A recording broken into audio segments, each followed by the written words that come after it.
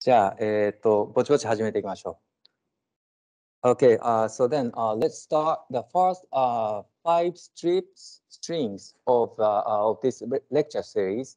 Uh, it's for optical coherence tomography. And I named it as a principle and uh, implementation of Fourier domain optical coherence tomography. And actually, uh, this Fourier domain is one of the keyword. I'm gonna uh, I'm gonna explain later. Okay, uh, before starting this lecture, I would like to first give a structure of the entire series of this lecture. And this lecture can be split into two parts. The first part is the principle and the application of the optical coherence tomography. And this might be the, the exactly the interest of you guys, right? You three maybe. Uh, also, uh, some guys are, are listening it, uh, mainly from China. Uh, uh, there are some some uh, research students who cannot come uh, to, to the University of Tsukuba at this moment, but uh, they are still suspended, but uh, will soon come. And I would like them to prepare for, uh, for starting their real research. So uh, that actually the purpose of why I decided to give in this lecture in English. Okay, uh, the second part is it's rather a general skill. It is for, I, I named it the, the five steps for critical reading of scientific papers. And this one is I, I actually explain, okay, so the students are normally believing they can read the papers, but I think it's not really true. Uh, like it's quite simple. Read the word and read a sentence and uh, uh, feel understand. Okay, okay, I got it. It's perfect. And then cast that a question and no answer. It's quite typical situation, right? And I would like to uh, say rectify this situation. I just break down the way I'm reading the paper critically into five steps. And, and, uh, and the first step is quite, quite simple, how you can read the paper word by word. And it's very practical using a color marker, the four color markers, the blue, and yellow, green, and red, and highlight the word, blah, blah, blah. It's quite simple, right? And then uh, gradually, uh, I explain uh, more, say, abstract tips, like a making on a short summary of each paragraph, and, and then, uh, then uh, coming to the logic, follow the logic of the paper and uh, criticize it. And uh, finally, okay, the fifth step is the criticism. Just uh, follow and check the fact and logic and uh, find out uh, which part is still open. Okay, and then constructively read. That's uh, really the final, final step. You can add something by reading the paper. So uh, for the, uh, the second half of this lecture is dedicated for these five steps. So maybe after taking this lecture, maybe you can add something by reading the paper. Okay, that's the goal. Okay, uh, in anyway, uh, for these upcoming five lectures are going to be dedicated for the optical coherence tomography. And let me start today for this first part. And this first part is going to be split into further split into five, five sections. The lecture one is uh, of the introduction and the principles of optical coherence tomography. And the lecture two is uh, its implementation. Okay, the lecture one, I'm going to talk about the principle, and then lecture two, in the lecture two, I'm going to talk about the, the practical implementation. And lecture three, I will talk about a little bit more theory to optimize the optical coherence tomography. Uh, uh, technically, uh, lecture three and lecture four, both of them are dedicated for the optimization. Now, lecture three, I'm going to talk about the theories and the practice of uh, resolution and sensitivity of the system. And lecture four, I'm going to uh, talk about how you can select the proper wavelength of the system and also uh, how we can, uh, I'm going to talk about how we can determine the depth range of the measurement depth range of the system. The OCT is actually the imaging system. I'm going to talk about it today. Okay, and in lecture five, I'm going to talk about the application. Uh, OCT itself has already been long time been used in uh, clinical field, medicine and clinic. And I'm going to a little bit talk about the application, how the OCT is used in a society, in a world, okay? So then uh, today is actually lecture one, and let me start from the lecture one. Okay, uh, to starting the lecture one, uh, first I would like to, uh, I would like you to have grab some basic idea of the optical coherence tomography, or OCT in short. Okay, OCT is uh, in general, it's a low coherence interferometer. So for this low coherence, it, it's an interferometer, light interferometer. But for this, we are going to use the light source with a low temporal coherence. Means it's broadband. its wavelength band, or uh, the wavelength width or the band is quite wide, wider than a standard light. Uh, maybe uh, in a, uh, say, student experiment, you've been used a helium neon laser. So this kind of laser has a very, very narrow bandwidth, and it has a very long coherent length.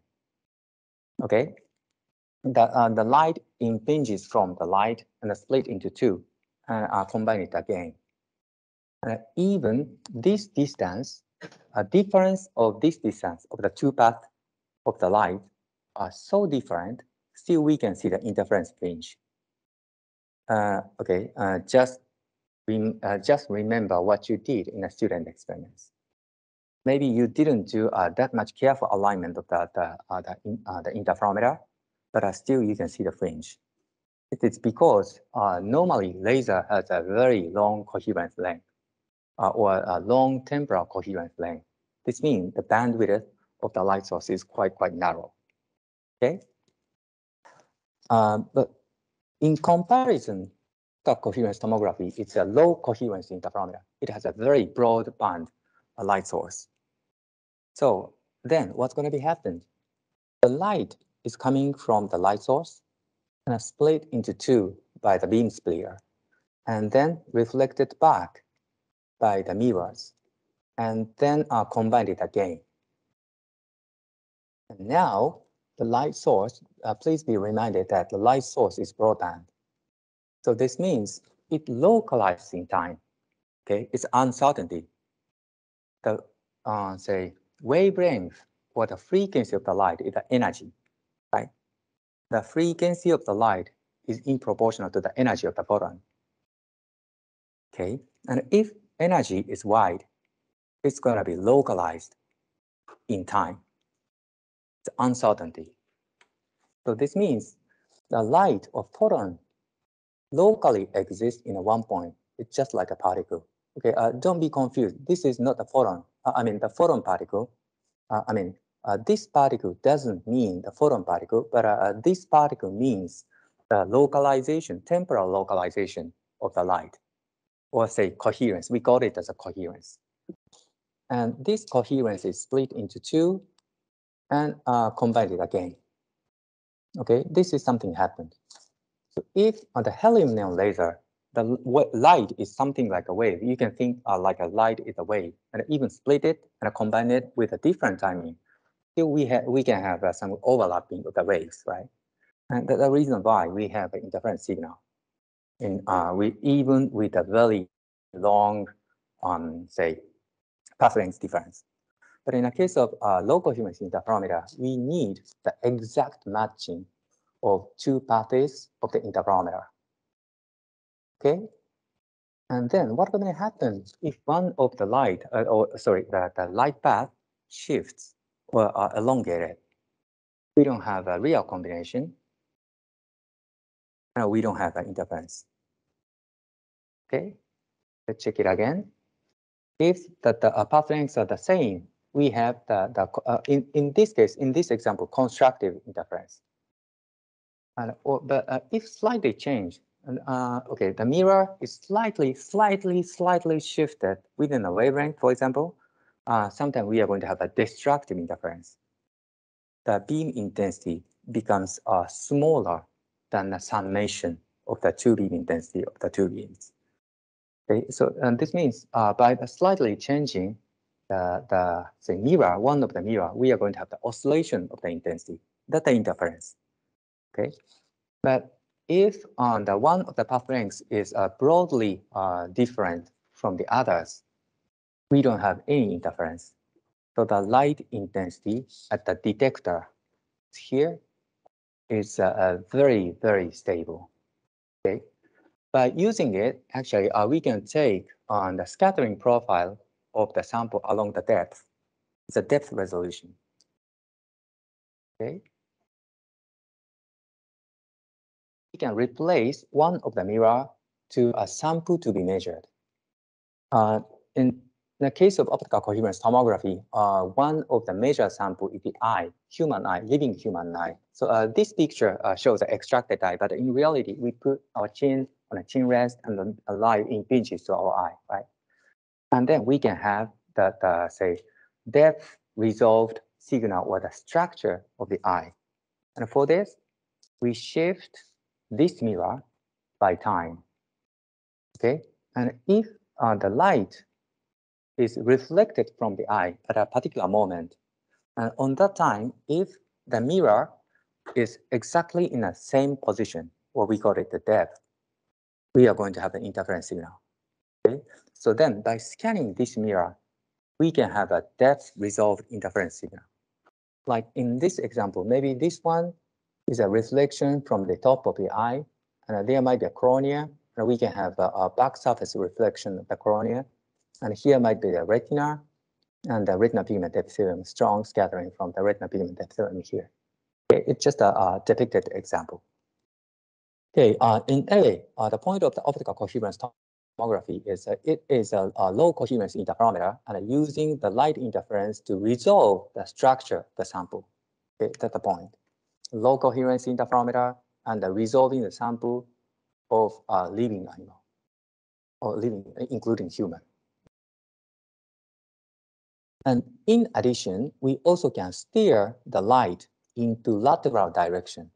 Uh, normally, we are uh, we are going to use uh, say rotating mirror. We call it as a galvo, galvanometer, or galvo. By combining uh, this lateral scan or transversal scan and this axial scan, we can have a two-dimensional re resolved um, cross-section, a say, okay, two-dimensional tomography of the sample. And here is an example of a real patient of the macular hole.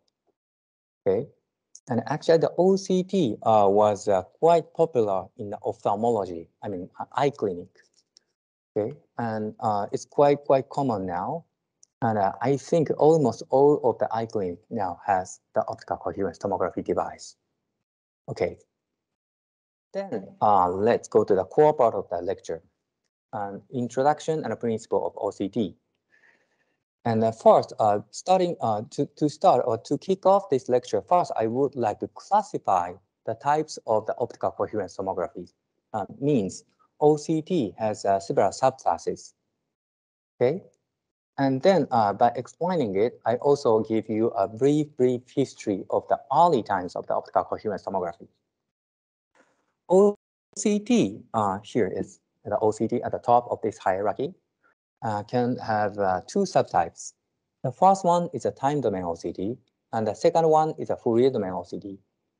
And a time domain OCT here is something, hold on. Time domain OCT is uh, was is sorry is uh, something I've explained in that picture. So uh, it's a low coherence interferometer, and uh, we uh, we move the one of the mirror. We call it as a reference mirror by time and are taking a signal. Okay, and historically, this is called as a time. Uh, this is called as an OCT, only OCT, not the time domain. So this means the first time of the the epoch of the OCT was starting by this time domain system. Okay, it's a point detection system. Means at the one time of the light detection, we can have an information of one point of the sample. It's a point detection system but uh, scan the location of the measurement by scanning the mirror and uh, steering the light.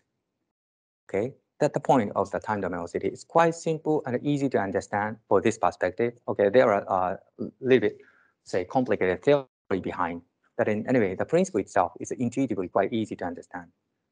Okay, um, but there is some drawback of the, the time domain OCT.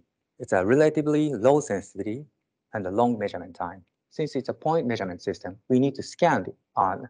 If you want to have a two-dimensional cross-section image, you need to scan the beam mechanically, two-dimensionally. So it resulting in, uh, for example, to get a one cross-section, you need a 1.5 seconds. And the eye is always moving. So It's, uh, say,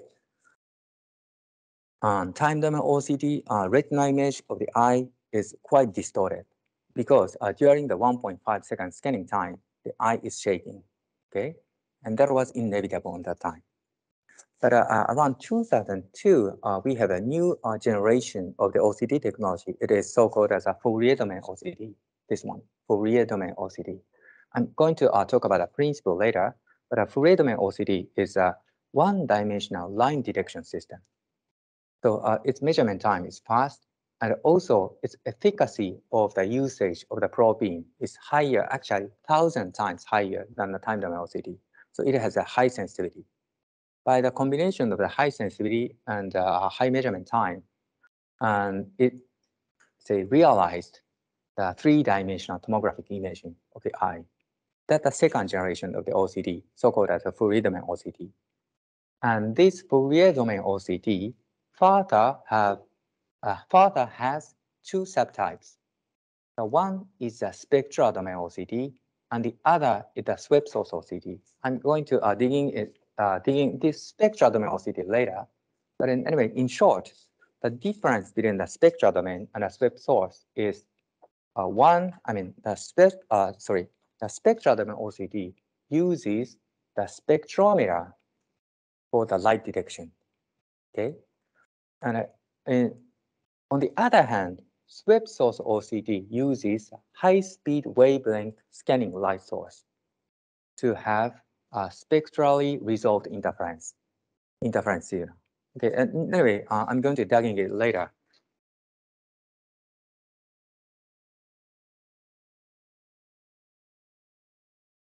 So then, uh, let me give you uh, some brief history of the OCT. And uh, there is some prehistory of the OCT. Uh, we called, uh, normally we believe epoch, the starting time of the OCT was 1991.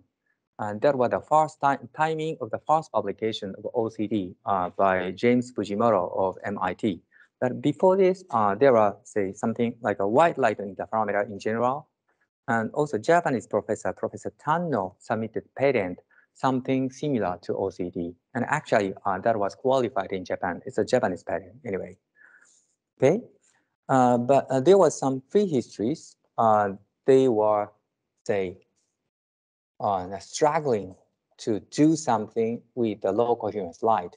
But uh, there was a big leap in 1991 that was made by David Huang and James Fujimoto of Massachusetts General, sorry, Massachusetts Institute of Technology, MIT.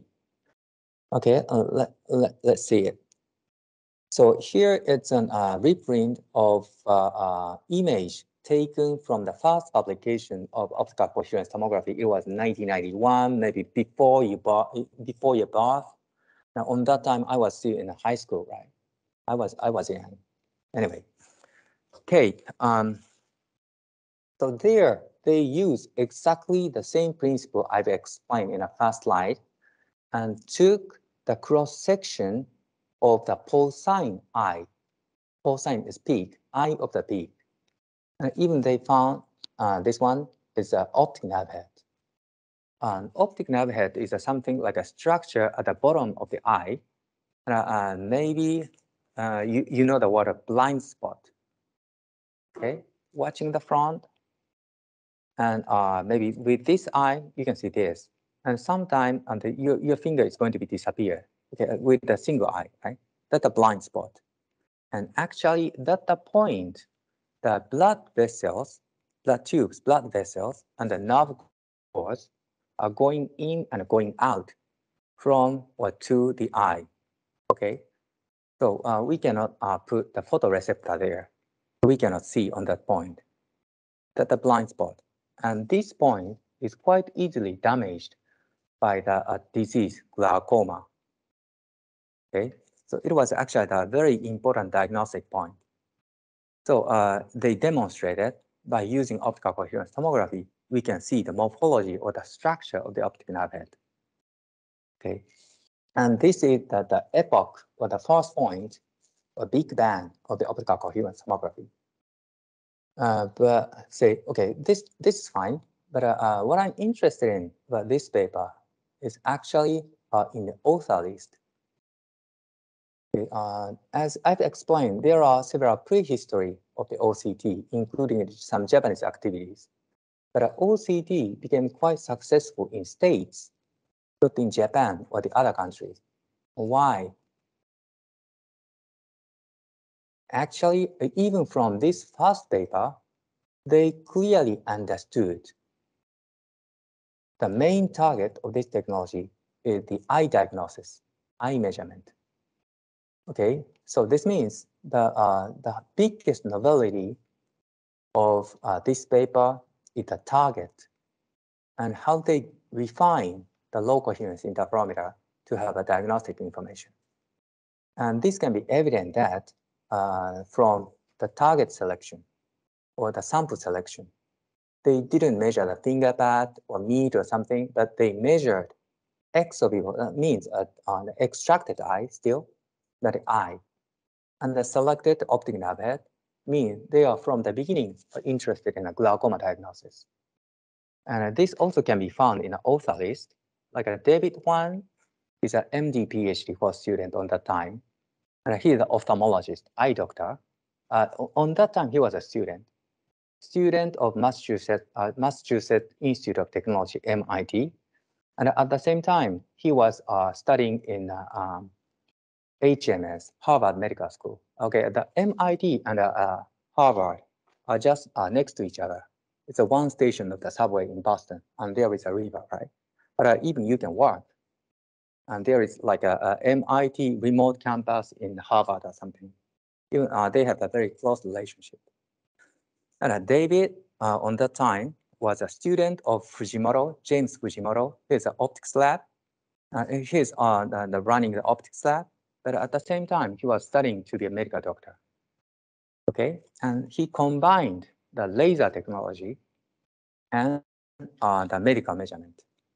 Okay, so this green, David Huang is MD PhD, and the lead, uh, he, he is also MD PhD student on the time. Okay, and Eric Swanson was in Lincoln Lab of MIT. He was, uh, uh, say, optical communication specialist it's a very technology guy. And uh, Fujimoto, James Fujimoto, is a professor on that time. He was quite young on that time, but a professor in MIT, laser lab. Maybe, uh, laser lab, no.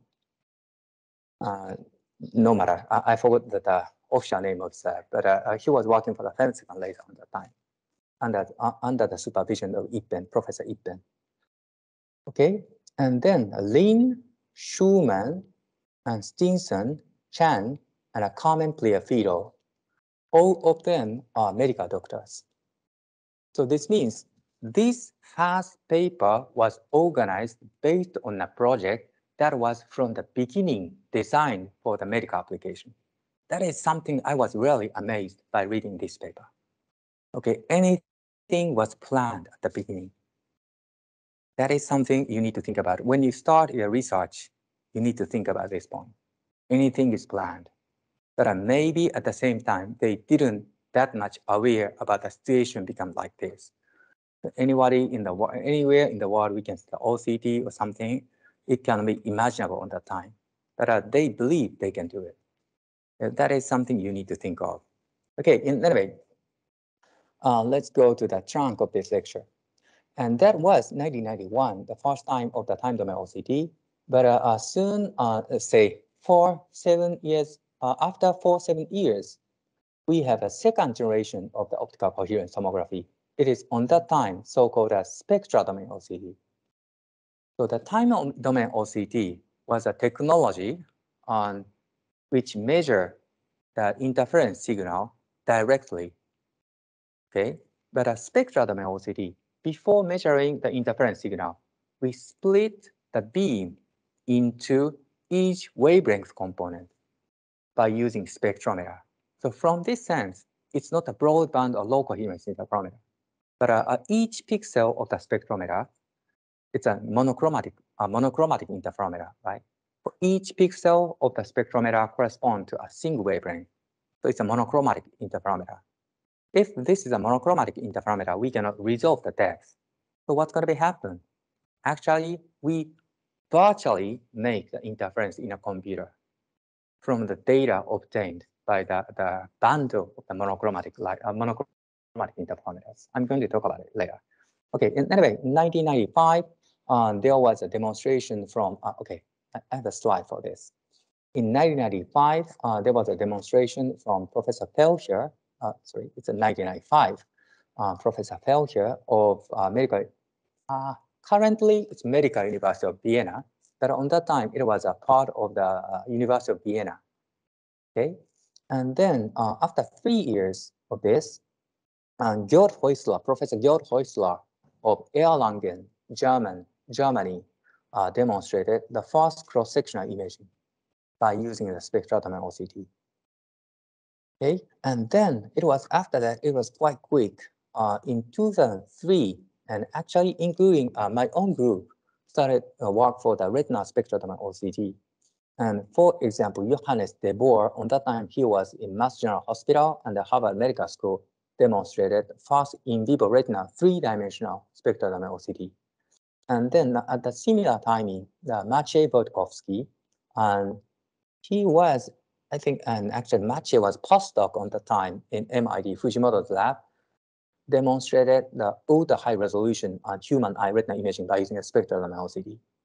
Okay, it's uh, only in a decade a bit, in a decade or a bit after the first epoch of the OCT, it was quite, quite quick on the time. And in the American University of Vienna, Rainer, Rainer Leitgeb, Rainer Leitgeb uh, demonstrated also the ultra high resolution, and also in the same group with Johannes de Boer, uh, Barry Cense uh, in Harvard Medical School also demonstrated the ultra high resolution system. And actually, uh, on that time, I was also working for the Spectrum OCT and a clinical setup and in this university, actually, and then transfer that technology to Topcon. And after two years, we have the world first uh, commercial device, a clinical device, which can be utilized for the um, eye diagnosis. Okay, anything was quick on that time, and I was young, actually. Okay, and then spectrum OCT are quickly established, but there was also another current in the world. It was a, a swept source OCT. And this was demonstrated by Andy Yun of uh, Harvard Medical School. And he's actually the first Korean associate professor in Harvard. And it's a, he's a kind of national hero. Okay, and Andy is actually quite, quite smart. But he was uh, originally uh, working for that uh, laser light source technology and created a very fastly and rapidly wavelength scanning light source by himself. Okay, and by using it, he measure he uh, by using that kind of device, we can measure the interference signal uh, in a wavelength resolution manner and applying it for the Fourier domain OCT, and that is a swept source OCT. And 2003, in my understanding, is uh, something like an epoch of the swept source OCT. On that time, they didn't call it as a swept source OCT, but uh, OFDI, optical frequency domain imaging. Okay, uh, but in, anyway, uh, they demonstrated a very clear cross-section of, uh, for example, this one is a finger pad, the skin by their system.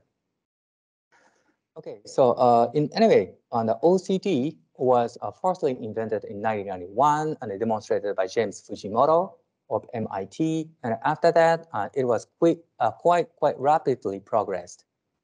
Okay, and now uh, there are several inventions, and maybe I can uh, I can revisit this point later in lecture five. But in, anyway, uh, the, the basement of the OCT was established something in early 2000. Okay, maybe uh, you are in uh, say something like a primary school or elementary school, hopefully. Okay, so then uh, let me explain a little bit something about a rather mathematical or the physical principle of the, the Fourier domain OCT. Okay, the time domain OCT, I just give you a brief idea, but uh, for the Fourier domain OCT, actually this is the currently standard OCT system. So I would like to give uh, very details of the principle of the FDOCT, Fourier domain OCT. Okay, here is uh, one example of the optical scheme of the Fourier domain OCT light source is a broadband light source. Okay, typically, uh, we, uh, we use um, semiconductor light source, like a super luminescent diode, SLD in short. Okay, it's a broadband light source, and are mostly centered at 840 nanometer wavelength. And, and, anyway, the wavelength selection, I'm going to revisit later. Okay, the light uh, from the superluminescent diode impinges to the low coherence interferometer. Okay, and uh, interferometer, when you think of, of hard about the interferometer, maybe you can imagine something like a really bulky system, including a mirror and a beam splitter, blah, blah, blah. But a modern interferometer can be built by using fiber optics. Okay, so here is a fiber, a fiber optical fiber, single mode optical fiber, and here is a coupler It's something like a beam splitter or half mirror, half mirror, sorry. And a beam, uh, led, uh, it, the beam from the light source is led to the coupler and split into two, uh, this path and this path. Uh, one portion of the light is uh, delivered to the probe optics. It's on a collimator here, and the light impinges to the rotating mirror. We call it as a galvo mirror or galvanomirror. And then focus on the eye, okay? Uh, for example, here, uh, uh, with this setup, the technically speaking, with this setup, we are measuring cornea, not the retina in any way. And uh, uh, say focus on a sample and I scatter back and then going back to the coupler. Okay, the other portion of the light is led to uh, this reference mirror. It's just a mirror, okay, and then reflected back and going back to the coupler again. And these two beams are combined, recombined, and then is led to a high-speed spectrometer. Okay, and a high speed, maybe you know the spectrometer. It's a combination of the, the diffraction grating and the lens and the fast camera. And uh, by using it, uh, you can take a spectral resolved, spectrally resolved uh, interference signal, okay, like this. And then applying a proper signal processing, we can have a depth, resol uh, depth resolved signal from the sample. Okay, I'm, I'm going to talk about uh, what is the signal processing later.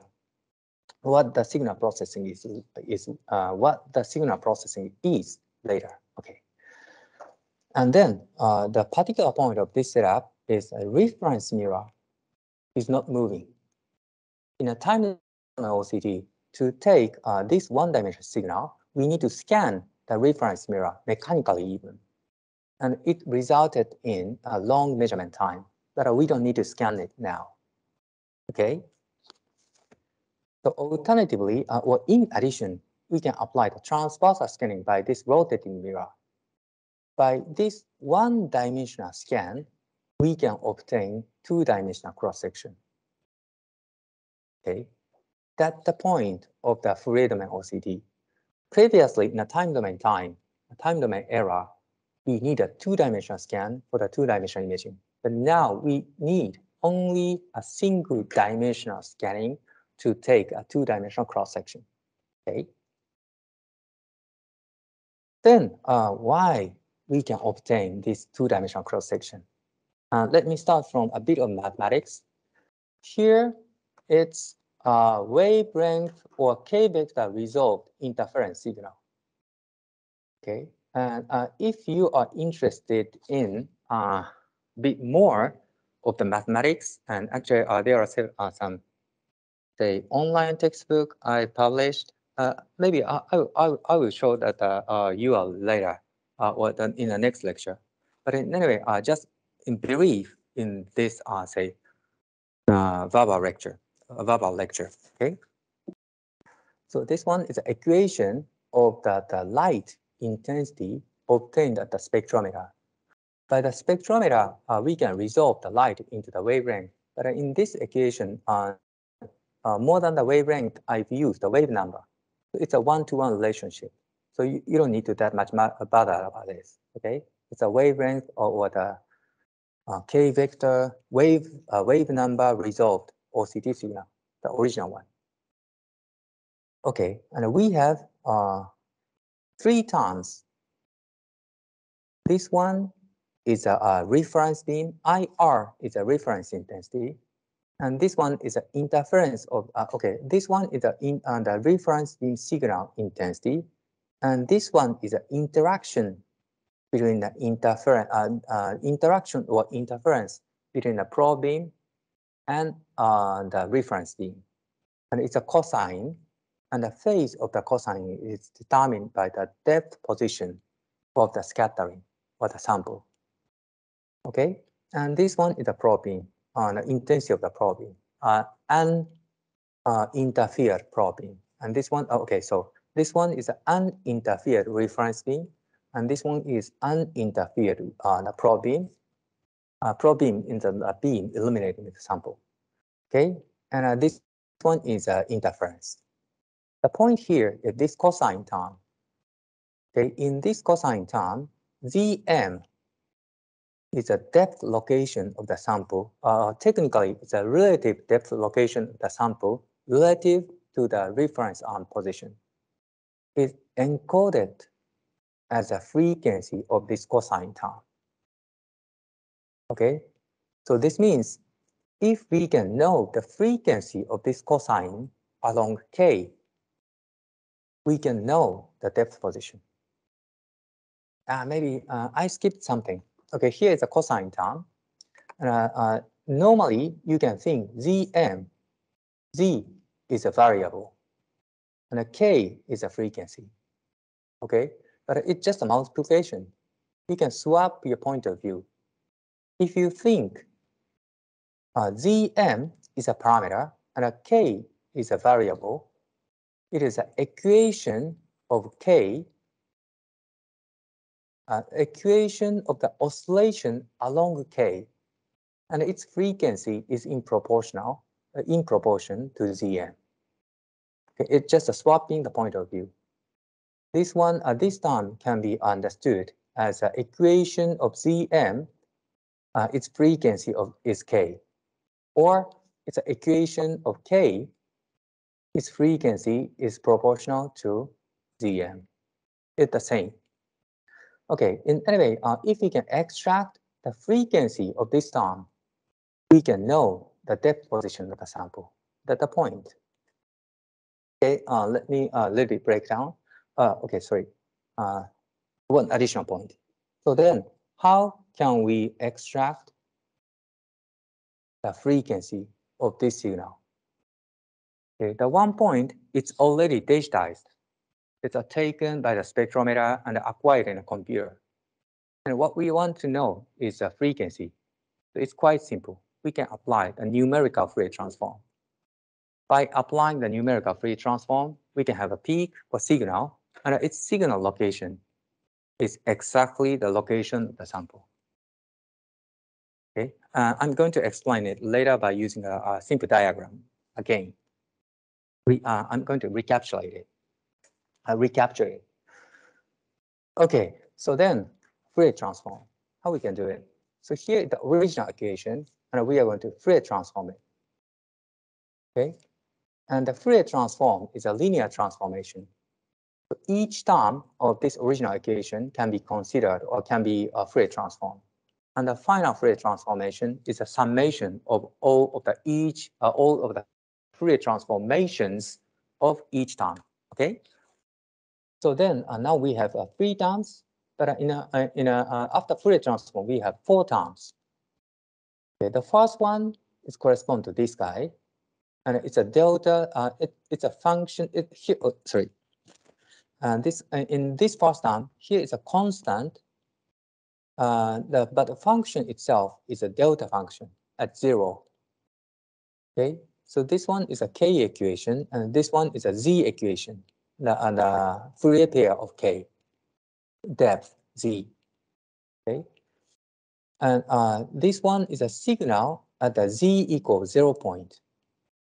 And this is actually not important, the lo localized at the zero point, so we can discard it, forget about it. And this term is a something like a noise. And uh, sorry, maybe this arrow is not correct. And this IP correspond to this guy, okay?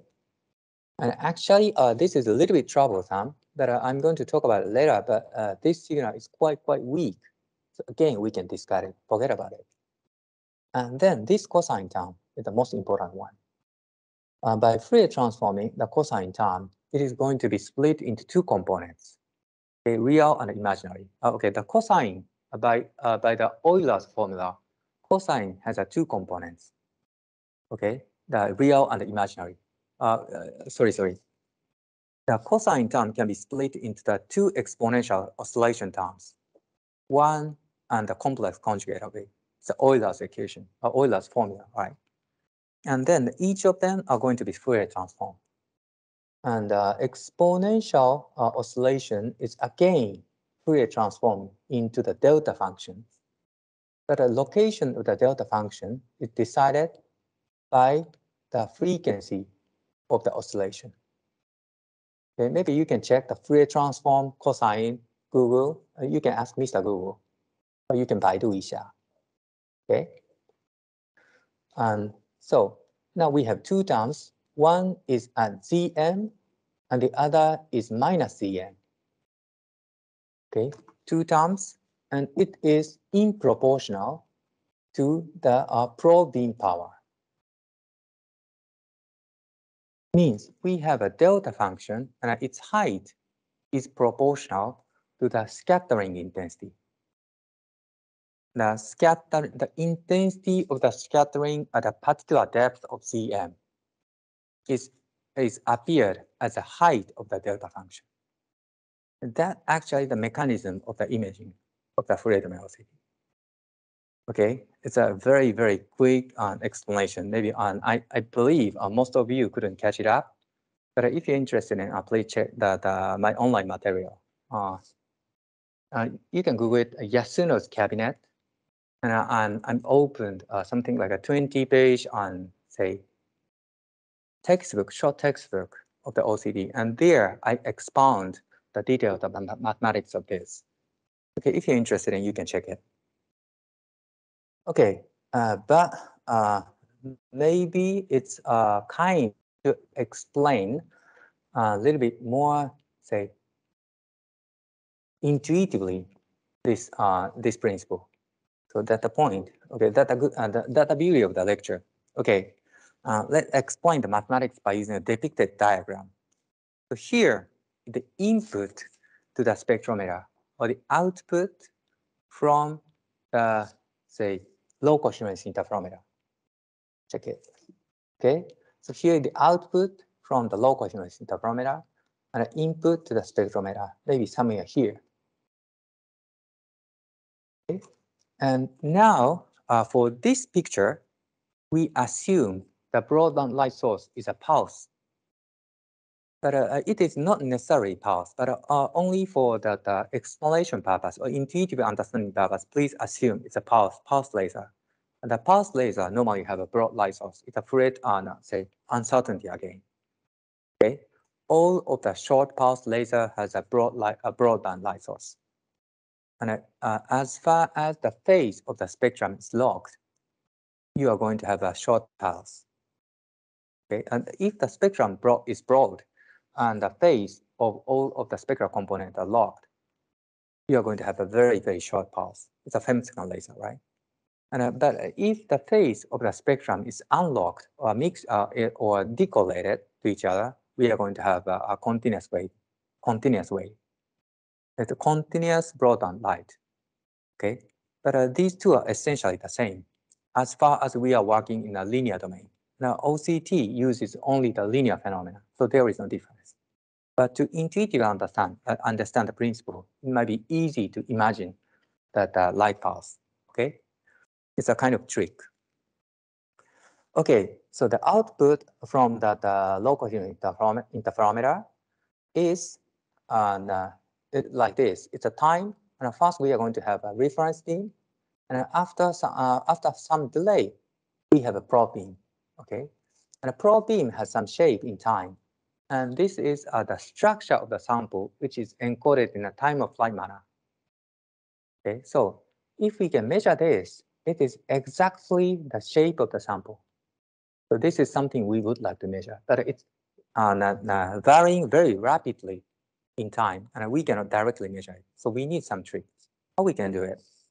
First, Fourier transform all of this signal physically. What this?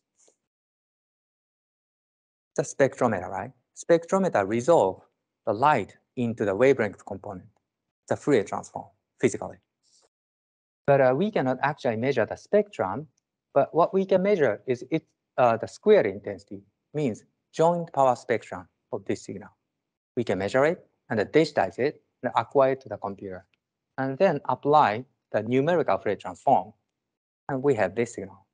So maybe your question is what the relationship with this final signal and the input signal. By watching it, and if you are carefully studying the mathematics, you can find that this is the Wiener-Khinchin loop. Okay, you can check it. Wiener-Khinchin theory or convolution theory, nearly the same. So this means, okay, this signal is an autocorrelation of this original signal. Okay. And this autocorrelation contains the autocorrelation of the reference beam itself and the probe beam itself. It appeared at the center. But at the same time, uh, by shifting the signal, uh, okay, here the reference beam and here is the probe beam, right? By shifting it like this, we are going to have a mutual correlation between the probe and the reference. It's actually the cross correlation. The cross correlation is contained in an autocorrelation. It's here. Actually, this is the OCT signal. It's uh, quite similar to the probe beam shape, but it's blurred by the reference. In some perspective, the reference beam here is actually on the point spread function, but uh, uh, this entire flow can gives us a little bit blurred, but a beam shape. That is something exactly actually what we want to measure, the OCT signal. So the point is, we didn't use any mechanical movement here, but we have the one-dimensional resolved OCT signal. That's the beauty of the Fourier domain OCT. Okay, and then uh, I'm quite close to the, uh, the end of this lecture. Okay, then uh, after taking, okay, sorry, let, let capture it. So we have the interference signal, uh, sorry, the output from the interferometer here and uh, uh, resolved uh, it into the wavelength by the spectrometer and then got the power spectrum and uh, in a computer we Fourier transform it and then we have an OCT signal. And here is the OCT signal, okay, and take the, uh, the absolute square of this signal. It's here. And then normally we take a 10 log of the uh, absolute intensity. And uh, absolute square intensity is actually 20 log of the amplitude. And we use it for the display. It's a kind of uh, interesting point. So uh, just maybe uh, I, I, will close this lecture by uh, noting this point. Why we need this conversion to log or dB. Okay, the signal itself is a complex signal, interference, complex interference, uh, interference signal. But first, we make it into square, absolute square, and then take log. Why? Actually, uh, this is because OCT has too high dynamic range. OCT sensitivity is something like 100 dB now. And also that image dynamic range can be um, like a very wide, and in principle, it can be 100 dB. But human eye has only the contrast sensitivity of 200 to 300 ratio ratio of 200 and 300. So we can distinguish only the 200 or 300 intensity levels. Okay, and it is something equivalent to uh, 23 to 25 dBs. So this means when you make an image for human observer, you need to compress the image range to within the human recognition.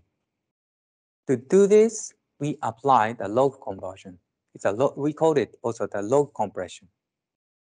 Okay, and this is the final point of today, and I, and I love this point, but uh, this means the end point of the measurement system is not a display, but a human brain.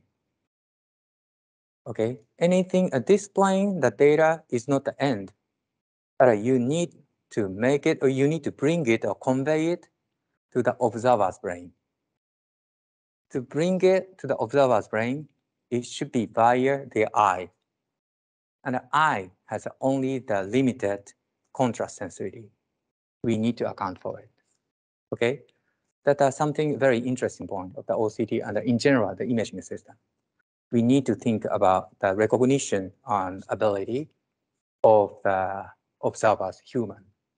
Uh, by the way, uh, maybe the last lecture of 2021, you can find it in the YouTube, maybe lecture six, is about this, the combination of the measurement and the human recognition and a, and a philosophical idea.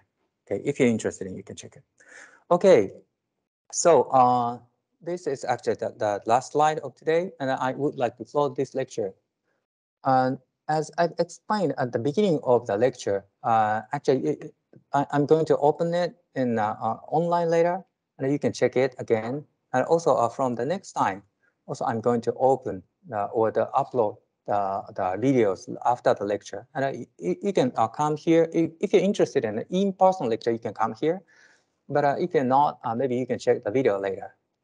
Okay. And uh, also, uh, if the OCT lecture is too much specific for you, you can check that the play the lectures of the last year or a year before the last year, and you can submit the reports, and you can get the, the lecture credit. credit. Okay, the three lectures ongoing, and the one lecture ongoing, and the two lectures have been done. And you can select uh, the in, uh, select one of it, uh, based on the interest of you, and you can submit the report, and you can get credit. Okay, so in anyway, the details of the report and submission or how you can take the lecture is going to be on uploaded in the Teams, Microsoft Teams, and the team code will be distributed by TWINS. Okay, so don't uh, if you want to uh, need a the uh, if you need a lecture credit, don't forget to uh, register yourself in the TWINS and uh, check the announcement on the TWINS. Okay. Okay. Uh, any question, feedbacks? Okay. Okay. So then uh, let's close the lecture. Thank you, guys.